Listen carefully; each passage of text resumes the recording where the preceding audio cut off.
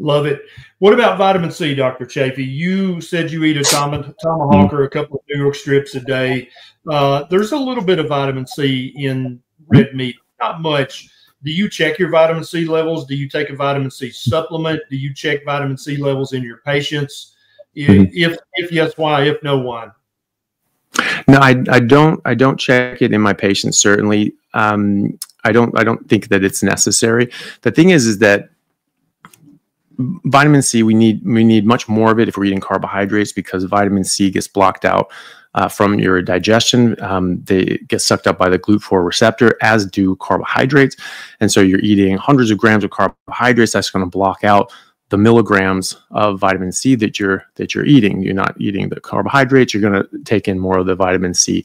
Additionally, we have to think about what we need vitamin C for in the first place.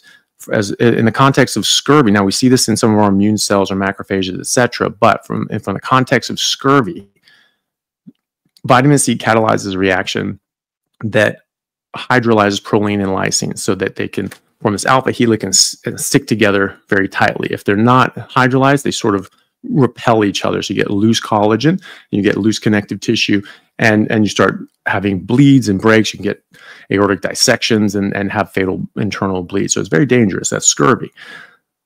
But when you are eating enough meat, meat already has hydrolyzed proline and lysine, so you're getting those that substrate already. So you actually skip a step. You don't actually need the vitamin C at all. So you're, if you're eating enough meat and you're getting enough hydrolyzed proline and lysine from the meat, your demand for vitamin C for scurvy and, and collagen production is zero. So it's not even that you need less of it, and, and the carbohydrates um, you know, being gone is is acceptable. Like you don't actually need any of it. Um, I, I, I think of this from um, the perspective of, of the Maasai because the Maasai are carnivores, but they also drink milk and milk has carbohydrates. And so what little vitamin C they're getting from the meat, they're probably blocking out a lot of that, no scurvy. Right. And so I don't think that that, that caused a problem as well. I actually did uh, a, a self test with vitamin C and I just drank, I drank, I drank like a gallon of raw milk a day for three days and I tested my vitamin C. It was, I, it didn't even show up. It was like trace. And I'm like, well, that's, that's what that is. So I would imagine that, that the vitamin C levels of Maasai are actually quite low. So doing this long term, and, and, they don't seem to have any problems. Exactly. And, and the last time I, I don't check it in patients typically because I agree with you completely. Mm-hmm. If your diet is low enough in carbohydrates, you're going to get enough vitamin C. It's not an issue. But I checked mine and it was either 0.2 or 0.3, which was mm-hmm. obviously low.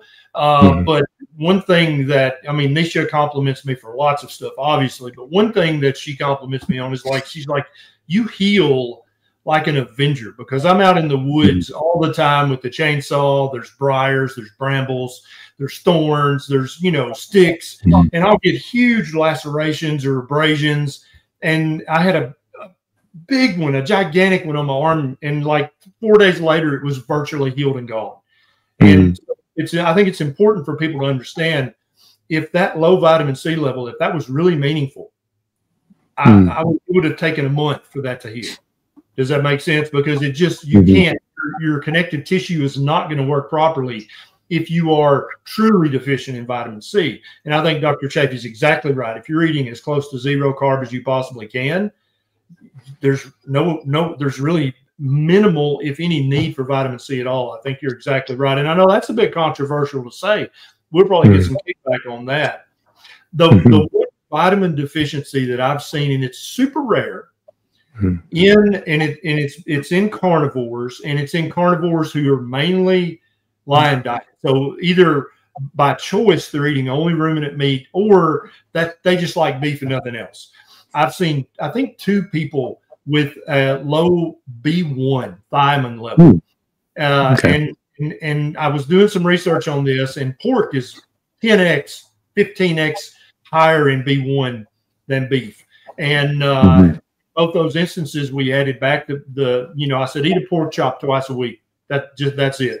And so they kept eating their beef, and they would just add a pork chop once or twice a week, and the B B one level went right back up to normal. In both cases, they were having a, a mild neuropathy, and that went mm-hmm. completely as well. But that's that's really the only vitamin uh, defect or de- uh, deficiency I've seen at all on a carnivore diet, and that's in people who are eating a very focused, narrow carnivore diet. Have you seen any vitamin or mineral deficiencies at all on any of the versions of carnivore? Hmm. Well, that that's really interesting. Um, it's I, I, not to the extent that they're getting neuropathies or or any sort of you know, serious like uh, signs or symptoms of of of, um, of a deficiency. Um, I typically see people's vitamins and minerals go up, especially if they're they're not having other sorts of things. I know I know you like coffee, and I, I think coffee is great for a lot of things, but I, I find it um, the anti nutrient effects of the coffee. I think are you know should be considered. I have I have actually several dozen patients that came in that were on thyroid medication, and it showed up that basically they were floridly hypothyroid, both in their numbers and their symptoms. And so we say, okay, what's going on? It, it basically was back to where they before they were taking their thyroid medication, and they were all still taking it, but it all turned out that they were having coffee basically with their their medication. And we found out that yeah, it was just blocking it out. And thyroid medication, you know, as you know, is, is very temperamental anyway. You have to take it on its own. You can't take anything else for at least half an hour besides water. But the coffee seemed to, to be a dry, an issue even after half an hour. And so we found out through trial and error that people had to basically wait about two hours before they had coffee, or it would significantly reduce the absorption. And and all of a sudden, their their numbers were just coming back up. I should probably publish that because there were like dozens of people that did that, but it, would be kind of interesting. But that'd be a great um, study. Yeah, and um, but you know, so I'll see maybe some issues with you know, zinc or magnesium, usually not in a deficient level, but maybe not getting up as high as other people.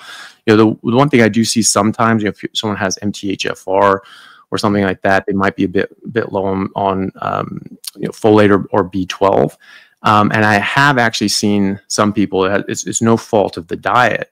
Um, it's just their, their own genetics. They might need a little bit of liver or something else, but you know they're not symptomatic. But some that's that's one marker that I do try to keep track of, is because Oxford University published a paper in 2008 that showed that under 500 picomoles per liter, which is 650 or so picograms per milliliter in the U.S., that people were actually getting demyelination of their of their white matter. They couldn't they couldn't keep rebuilding their uh, white matter around their axons, the the myelin, myelination around their axons, and they actually had uh, shrinkage in their brain volume by two and a half percent after five years.